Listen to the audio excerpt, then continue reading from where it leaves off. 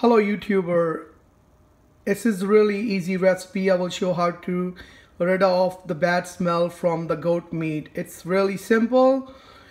I have a meat here into the cold water. I'm gonna add simply white vinegar into the water. It's about like three to four spoons and you're gonna leave it here for 15 to 20 minutes and you're good to go. Thanks for watching.